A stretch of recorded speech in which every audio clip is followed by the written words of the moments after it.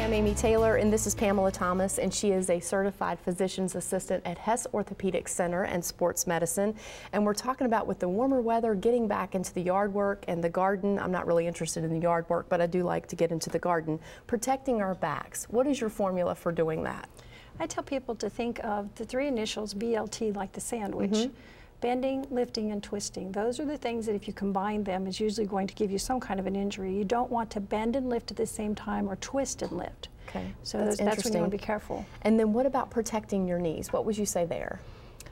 Usually when you're lifting, it's better to lift with your knees to protect your back, but if your knees aren't that strong, then I would recommend that you get like a kneeling pad or maybe the pads that go on your knees mm -hmm. to mm-hmm. do work that's going to keep you down for a long period of time. Okay, and the most important thing you can do before you even head out the door to go to the yard or the garden, what should you do? Hydrate. Okay. A lot of people forget to hydrate and then they get out there and get fatigued and then they're more prone to injury. Okay.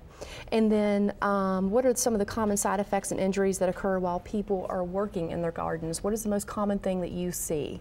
The most common thing for all the doctors is to see lumbar strains. Okay. And this is going to probably happen to a lot of people. And I tell people if you're starting to feel it while you're working, you need to take a break.